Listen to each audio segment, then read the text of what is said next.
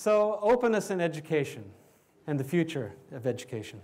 Open is a word that has a lot of different meanings, and education has several as well. So, let, us just start very quickly by getting some terms out of the way before we move on with the talk. For over a decade now, open in this educational context has been an adjective that's been used to describe different educational artifacts, things like textbooks, things like resources, things like courseware. Um, and so, used in this way, uh, openness is really talking about teaching materials that are freely shared and that come with permissions to engage in what I call the 4R activities.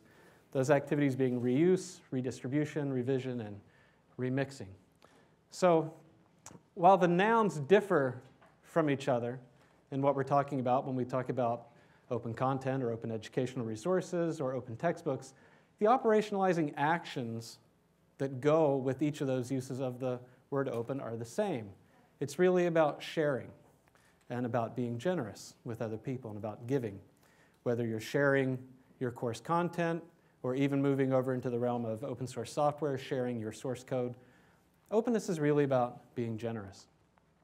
It's about, it's about overcoming the inner two year old in you that screams, Mine, mine! You know, it's mine. I want to keep it. Um, I don't want you to have it. Um, unfortunately, and I expect we'll hear more about this from Larry, um, law and policy are increasingly enabling us in our fit throwing, letting us scream mine ever more loudly, letting us throw ever larger fits, and giving us bigger toys to hit each other with. Even worse, there's this whispering in our ear that says, it's okay. Everybody's selfish. People sue each other all the time. You, you can do these things. That's, that's acceptable behavior. It's legal. Um, this is not a good situation. We as educators are not immune uh, either. You can see this kind of thinking in your colleagues down the hall, maybe in your administration. It's not completely pervasive, but these ideas that it's okay to be selfish, it's okay to sue people, uh, are unfortunately common. So, what is the role of openness having given that term a little definition in education? I think this question is actually really, really insidious because it implies there could be a large role for openness in education, there could be a small role, could be a primary role, we might not need it at all. Uh, when in fact, I want to argue that openness is really the only means of doing education. You can't talk about education without talking about openness. If there's no sharing, if I'm not sharing what I know, if I'm not giving you feedback, if I'm not engaging in this give and take with you, there is no education. Education is inherently an enterprise of openness and sharing and generosity. So we would say, or I would argue, that education properly considered is this relationship of sharing between two or more people. And so, in the definition of openness and in the definition of education, we see this common theme of, of sharing. And we say that the successful educators, the teachers who are the best teachers, are the ones who share the most completely with the most students. Right? That's our definition of what a successful educator is. So, how is it that uh, new media and technology are affecting education or openness or our ability to share? There are great opportunities here, and just let me talk about one of them very briefly. Expertise, in other words, the things that we know, the things we know how to do, the, the attitudes we have in terms of ethical behavior, things like that, are non rivalrous, or in other words, they're not competitive. Um, I can give some of my expertise to you without giving it away. I can share that with you without losing it. And you probably know this rather famous quote by Jefferson that he who receives ideas from me receives instruction himself without lessening mine, the same way I can light his candle without the fire of my candle being taken away from me. It's a good thing that teaching works this way. Otherwise, teachers would all be like honeybees who can sting one time and then die. You, you teach someone and then you wouldn't know anything anymore. And that would be a problem for the advance of uh, society and civilization.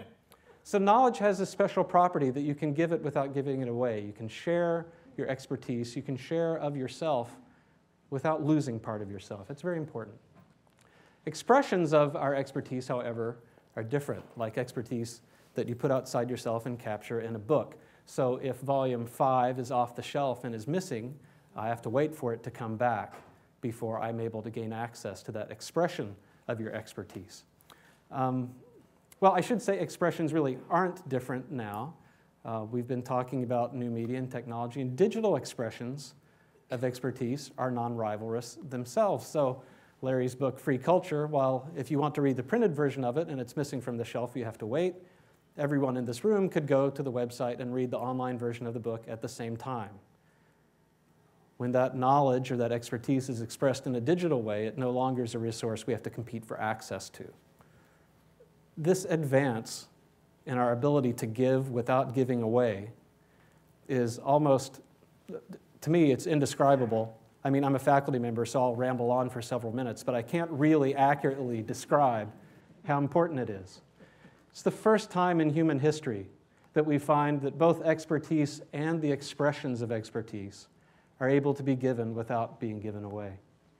So, this gives us an, uh, a really unprecedented capacity to share uh, at a scale uh, that we've never been able to share before, and we can substitute the word educate in here as well. Uh, this technology just gives us an incredible opportunity. Now, I will say parenthetically, um, although it's been handled very well in the morning session, it'll be handled well the rest of the day, I'm sure. Education involves more than just sharing expressions of expertise, of course. Um, turns out the internet's pretty good at enabling these social interactions and the other things that we consider being important parts of education. But I do want to focus on this idea of content. Um, technology, for better or worse, we're talking about these great new capabilities it gives us, but technology never is a one man show, right? Technology always plays opposite its nemesis on stage, which is policy. So, going back to tell a story for a minute, I, I love the expression web minus 10. Was, was that what you said earlier today? Uh, in the 15th century, we saw what is arguably the greatest technological advance ever in the printing press. Uh, the difference between the printing press and the internet, of course, is that with the printing press, things went from being very expensive to produce and very slow to produce to being relatively fast and inexpensive to produce in the case of the press. But now we go from being relatively inexpensive and pretty fast to produce to being immediate and basically free. So the difference from before the press to after the press and the difference from before the internet to after the internet are really two large things. But we have the press in the 15th century, but we also have in the 15th century the most draconian restrictions you could ever possibly imagine on the dissemination of information, something that makes a global DMCA look, uh, like my youngest girl would say, a parade of rainbow ponies, right? okay. Rainbow sparkle ponies, okay? Okay, so Gutenberg's masterwork is a 42 line edition of the Bible, the Vulgate to be more specific, right? It's a Latin Bible. Um, and while the press is showing that we can mass produce Bibles at scale, they're not being produced in the vernacular, in the language that normal people can understand. And there's a great demand for access to the Word of God in English or in Italian or in whatever language you want, but something that you can understand. And now that we know that the press can print these things affordably. Um, why can't I get access to that in a language I can read?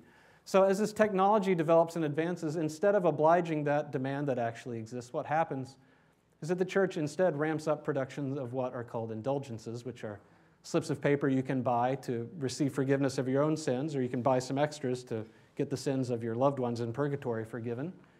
Um, and they actually push for stricter laws against access to vernacular copies of the scriptures.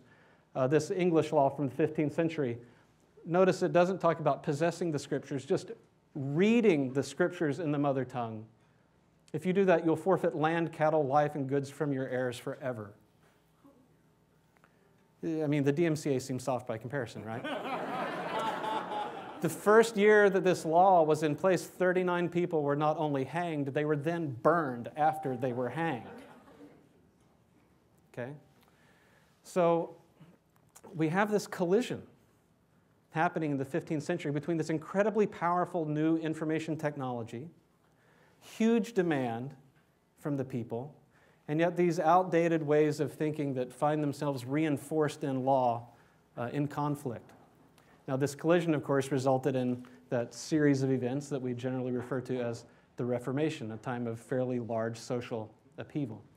Unfortunately, um, our day isn't a very different time. We can tell the same sort of story, even just in the education context. So, take a course management system like a Blackboard or a Desire2Learn This is a technology that is an online technology, the content in which is capable of being shared with everyone in this non competitive way. But this technology is turned against itself with passwords, with different kinds of restrictions that keep people out, that withhold, that conceal, instead of sharing, being generous, being open, being giving. Uh, and not only do they conceal, but they also delete all the contributions that students make at the end of term, right? We like to jokingly say that if Facebook worked like Blackboard, every 15 weeks it would delete all your friends, unsubscribe you from all your groups, delete all your photographs. I mean, that's not a way to build a community of people, right? Okay? So, technologies today, well, they have a lot of potential, but they're not being used maybe appropriately. In 2008, we had this case of a professor at a university in the southern part of the United States who filed a lawsuit in which he claimed copyright of his lectures. And because they were copyrighted, all the people taking notes in his class were creating derivative works of his copyrighted material, and that as the owner of the original, he had the right to control how those were used. Why are you in education? you know, I mean, it, it really makes me wonder can those students ever become a professor? I mean, if I stood up to teach, wouldn't that be a public performance of some derivative of his copyrighted work? Right? Or what if I took a job and actually applied the skills I had learned in his class? If someone observed me, could they reverse engineer what you know he had taught me? Um, it's an outdated way of thinking. And in terms of demand, again, I mean, I suppose many of you know many of these numbers. We have about 120 million people enrolled worldwide in higher ed institutions right now. And that's expected not to grow up to 150 million, but to grow by 150 million in the next 25 years. So, in other words, we're going to more than double the amount of people who are trying to get access to higher education. Uh, my favorite way of summarizing this up is that in India alone, this means 2,400 new universities in the next 25 years. Or, in other words, building hiring, staffing, and opening a brand new university every two weeks for the next 25 years. You can't do that, right? So, again, 500 years later, we have this collision between this powerful new media in terms of the, the internet, this ravenous demand for access to higher education, and these outdated ways of thinking about protecting my intellectual property, which is my copyrighted material which is just a culture of withholding and not a culture of generosity or of sharing or of giving. Now, if that all sounds familiar, it's because I talked about it about three minutes ago. Okay? Education is right on the rickety edge of its own reformation. Uh, if you've seen Anya's book, which is forthcoming, this DIY university, um, she talks about the cost side of this. Um, but we're, we're really we're at a troubling point, and it all hinges, it all comes back to this idea of openness. Openness is what is missing. So, as we stop and look at ourselves and we spend some time uh, introspecting, we think about this great new technology that we've been blessed with 500 years later. Now, have we learned the lesson of 500 years ago? As we take this technology and this opportunity to share on this scale, will we use it to be more open? Or will we turn it back against itself and use it to do other things to uh, keep the status quo, enforce that status quo with policy, maybe with state and federal law? Um, are we really going to fight this fight again? Or are we going to sort of wake up and understand that we need to be more open? I want to submit to you, actually, that as you think about new media and you think about technology and you think about how those intersect with education, that really the only proper role for technology and education is to increase our capacity to be generous. Okay? Whether that's with giving feedback, whether that's with sharing materials, whether it's with a whole host of things that get away from those kinds of static artifacts and get more into discourse and discussion and argument and debate and conversation and collaboration. You don't just have to give of your resources, you can also give of your time. There's a lot of things that you can give. And to the extent that we do give, and to the extent that we're open, education will be improved. Thank you.